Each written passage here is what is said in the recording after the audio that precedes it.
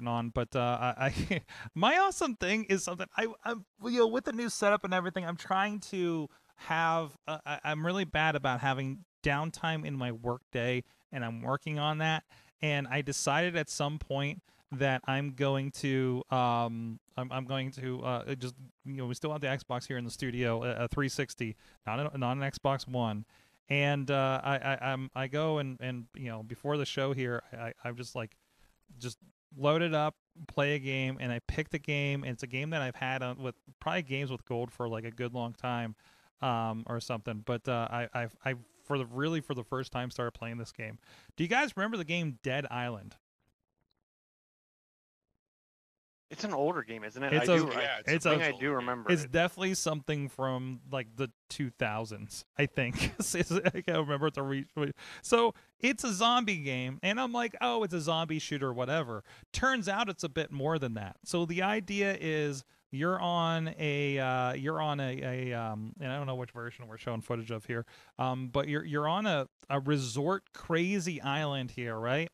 And and of course something has happened the zombies are happening and you're one of the survivors but you're one of them that's immune to whatever's going on so everybody else is hiding away and you have to go on the missions for them.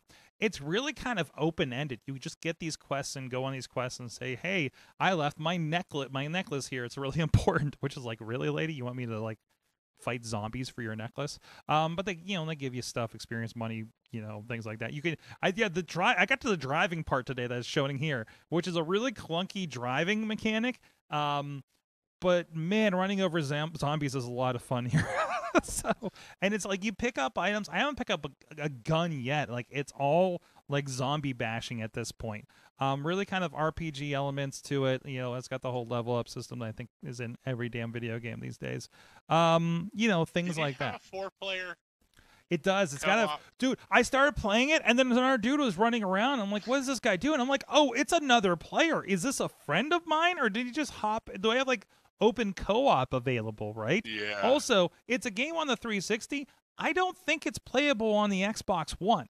Okay, so like I think there's a new definitive edition for that, so they usually don't bring them over uh, with with backwards compatibility uh, that I'm aware of. I could be wrong, um, but uh, but no, it's it, it it's it's fun and and also just like wild things like you're fighting these zombies, but they're all in like like swimsuits and and like you know uh you're on an island. yeah. so You're on an island, yeah. yeah, yeah, they got their Hawaiian shirts on and everything, but they're all zombies running at you. So Oh, um, awesome. it's it's pretty it's pretty fun for what it is. There, um, yeah, that looks a lot better than the version I'm playing on the 360. But and it's like it's not perfect. There's weird stuff happens every once in a while, and you know, graphically or you know with the mechanics or anything like that. But um, you know, but it was also the you know the the you, zo- you knock a zombie down and you don't you realize you didn't finish them off and they come at you when you turn back around. Oh, your your perception on this is so bad. Like things can sneak up on you so easily. It's so bad.